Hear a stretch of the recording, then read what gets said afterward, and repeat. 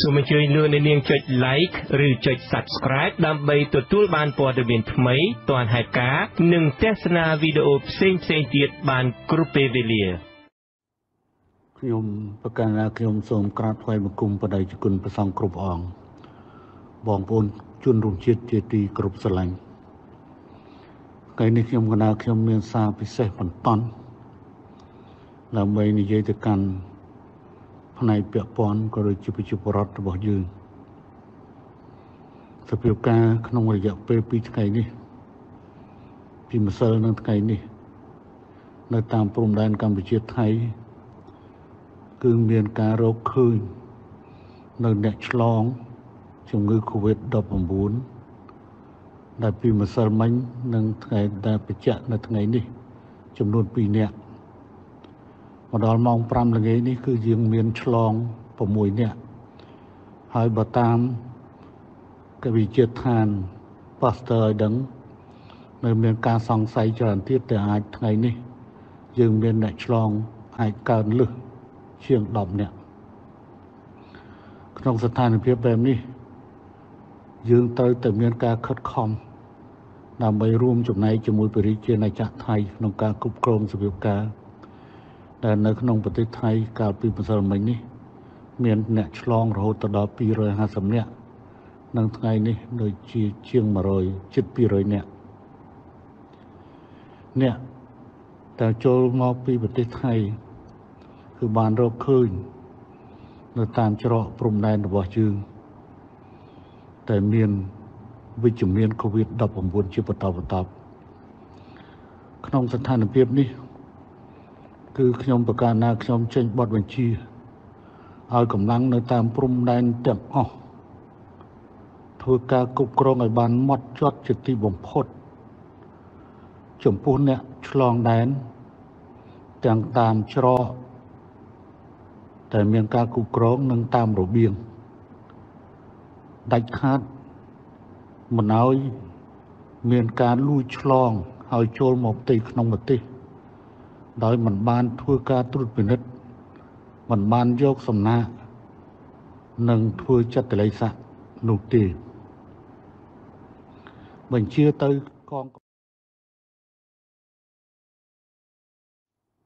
ខ្ញុំប្រកាសថាខ្ញុំសូមក្រាបថ្វាយបង្គំបដិជគុណព្រះសង្ឃគ្រប់អង្គបងប្អូនជនរួមជាតិជាទីគោរពស្រឡាញ់ថ្ងៃនេះខ្ញុំកណ្ដាលខ្ញុំមានសារពិសេសបន្ត ដើម្បីនិយាយទៅកាន់ផ្នែកពាក់ព័ន្ធក៏ដូចជាប្រជាពលរដ្ឋរបស់យើងសភាពការក្នុងរយៈពេល2ថ្ងៃនេះពីម្សិលនឹងថ្ងៃនេះ នៅតាមព្រំដែនកម្ពុជាថៃគឺមានការរកឃើញនៅអ្នកឆ្លងជំងឺ Covid-19 ដែលពីម្សិលមិញ និងថ្ងៃដែលបញ្ជាក់នៅថ្ងៃនេះ ចំនួន2នាក់ មកដល់ម៉ោង5ល្ងាចនេះគឺយើងមានឆ្លង6នាក់ហើយបើតាមកវិជាឋានប៉ាស្ទ័រឲ្យដឹងនៅមានការសង្ស័យច្រើនទៀតតែអាចថ្ងៃនេះ យើងមានអ្នកឆ្លងអាចកើនលឹះជាង10នាក់ក្នុងស្ថានភាពបែបនេះ យើងត្រូវតែមានការខិតខំដើម្បីរួមចំណែកជាមួយបរិជាណាចក្រថៃក្នុងការគ្រប់គ្រងសភាពការ ដែលនៅក្នុងប្រទេសថៃកាលពីម្សិលមិញនេះ មានអ្នកឆ្លងរហូតដល់250នាក់និងថ្ងៃនេះដូចជាជាង100ជិត200នាក់អ្នកតែចូលមកពីប្រទេសថៃគឺបានរកឃើញនៅតាមច្រកព្រំដែនរបស់យើង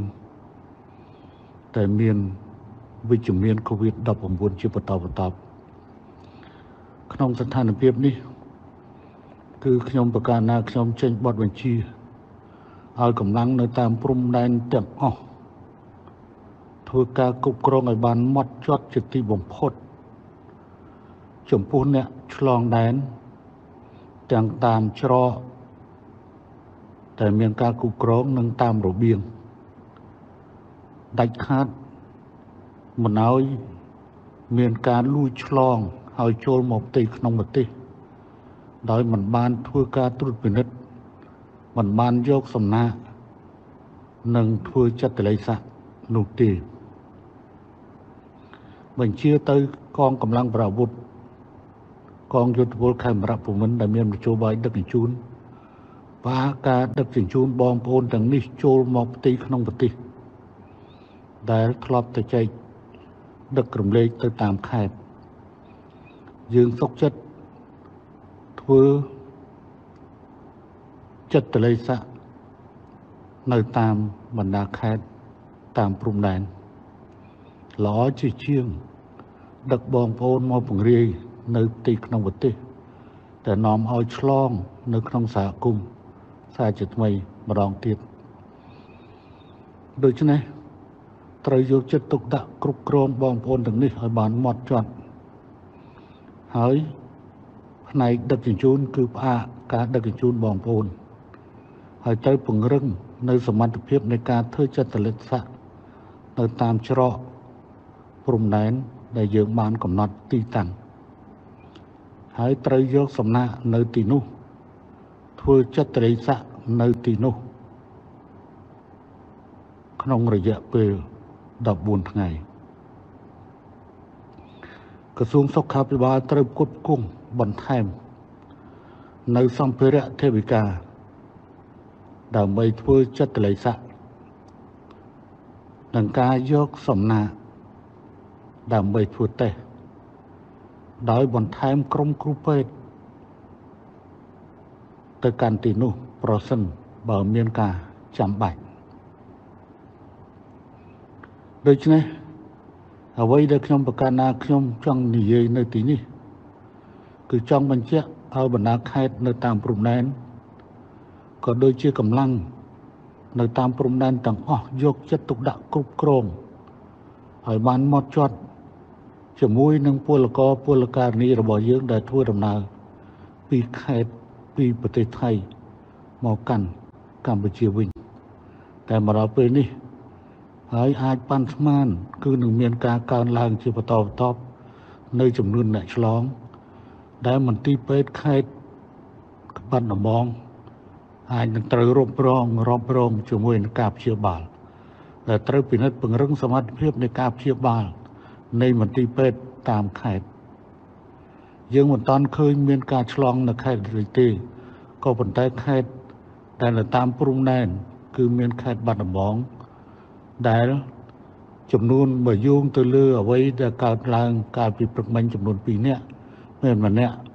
គឺមានស្រុកកំណើតនៅបៃលិននិងមានម្នាក់ស្រុកកំណើតនៅខេត្តបាត់ដំបងដូច្នេះត្រូវបន្តការពង្រឹងសមត្ថភាពនៅទីនោះក្រសួងសុខាភិបាលត្រូវធ្វើសកម្មភាពបន្តដើម្បីនឹងបន្ថែមសម្ភារៈធាវិកាក៏ដូចជាសម្រាប់ការធ្វើចេតលស័ក ក៏ដូចជាការធ្វើតេស្តយកសំណាក់ហើយបង្កើនលបឿននៃការធ្វើតេស្តដោយវិជាឋាន Pasteur សំខាន់គឺការដឹកជញ្ជូនសំណាក់ពីបណ្ដាខេត្តទាំងនោះមកកាន់វិជាឋាន Pasteur ព្រោះយើងមិនតាន់មាន ទីកន្លែងធ្វើតេស្តនៅតាមខេត្តនៅឡើយទេខ្ញុំក៏សូមយកឱកាសនេះដាក់ចេញបទបញ្ជាឲ្យបណ្ដាខេត្តនៅតាម នៅខាងក្រោយទាំងអស់ធ្វើការត្រួតពិនិត្យទៅដល់មូលដ្ឋានតើមានបងប្អូនដែលមកពីខេត្តមកពីប្រទេសថៃចូលមកដល់ប្រមាណអ្នកហើយត្រូវគ្រប់គ្រងឲ្យបានម៉ត់ចត់អ្នកដែលបានដឹកជញ្ជូនទៅក៏ត្រូវតែគ្រប់គ្រងហើយអ្នកដែលលួចចូលមកស្ងាត់ស្ងាត់ហើយមិនបានធ្វើចិត្តតលិស័កមិនបានយកសំណាក់ចាំបាច់ត្រូវតែយកសំណាក់ ដើម្បីយកមកពិនិត្យហើយត្រូវតែធ្វើចិត្តតលិស័កឲ្យបានត្រឹមត្រូវដើម្បីជៀសវាងនៅការពង្រាយជំងឺចម្លងជំងឺឆ្លងនេះ ទៅកាន់ក្រុមគ្រួសារនិងទៅកាន់សហគមន៍ដែលខ្លួនរស់នៅ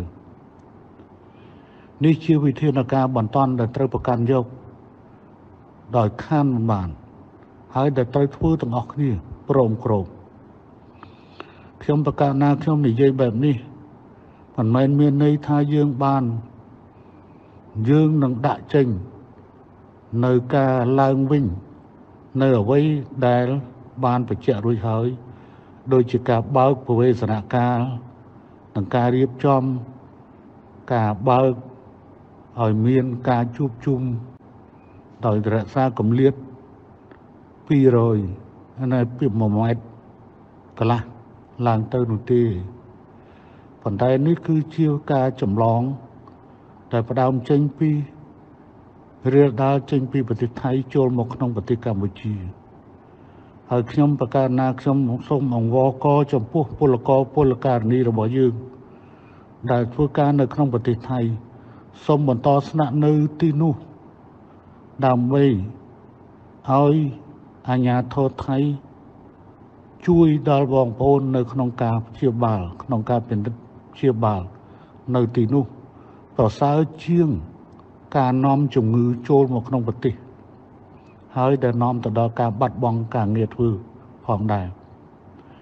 សង្ឃឹមថាបងប្អូននឹងមានការយោគយល់ចំពោះការលំបាក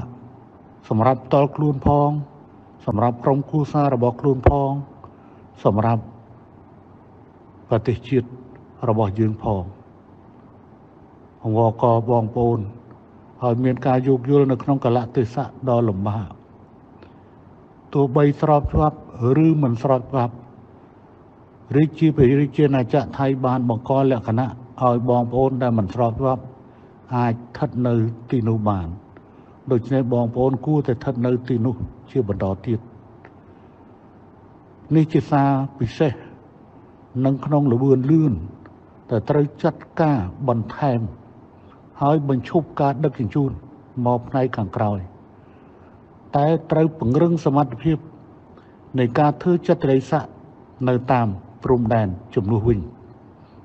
បើទោះបីថាច្រើនម៉ឺននាក់ក៏យើងត្រូវតែខិតខំដើម្បីធ្វើចិត្តរិស័កនៅតាមព្រំដែនតែម្ដង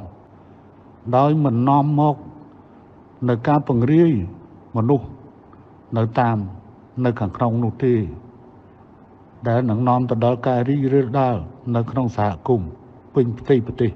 នោះដែរដូច្នេះសូមគ្រប់ផ្នែកដែលមានការពាក់ព័ន្ធជាពិសេសគឺខេត្តនៅតាមព្រំដែនតែម្ដងត្រូវតែពង្រឹង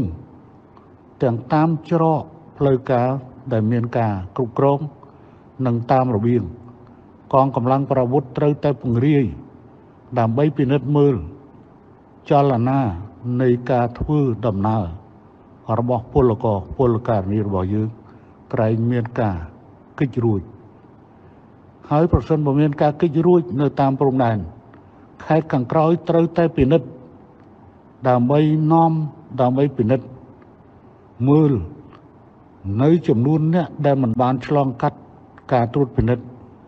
ធ្វើចិត្តរិស័កនិងធ្វើតេស្តនៅតាមព្រំដែន ឲ្យពួកគេបានធ្វើតេស្តនិងធ្វើចិត្តរិស័កនៅឯផ្នែកខាងក្រោយនេះជាវិធានការដើម្បីប្រយុទ្ធប្រឆាំងបន្តទៀតជាមួយនឹង COVID-19 ដោយខ្ញុំវណ្ណាខ្ញុំបានបញ្ជាក់ថាយើងបិទបញ្ចប់ព្រឹត្តិការណ៍ថ្ងៃ28វិច្ឆិកាប៉ុន្តែមិនមែនបានសក្តិថា COVID បានបញ្ចប់នោះទេ ដូច្នេះហើយបានជាយើងត្រូវបន្តការប្រយុទ្ធតទៅទៀតចំនួននេះគឺជាចំនួនមួយ ដែលគួរឲ្យព្រួយបារម្ភដែលចាំបាច់ត្រូវតែមានវិធាវិធានការជាបន្តសូមអរគុណសូមអរគុណចំពោះការយកចិត្តទុកដាក់ស្ដាប់និងសូមផ្សព្វផ្សាយឲ្យបានទូលំទូលាយនៅសារសម្លេងរបស់ខ្ញុំប្រកាន់ណាខ្ញុំនេះសូមអរគុណ